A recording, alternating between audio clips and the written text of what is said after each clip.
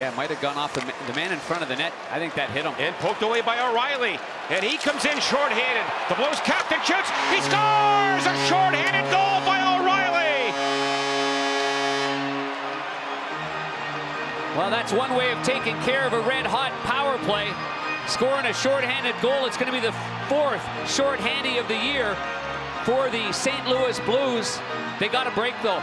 This shot from the point it was Nick Bonino in front of the net. Keep your eye on 13, White in front, there. He turned around and spun. He got it right in the back of the leg.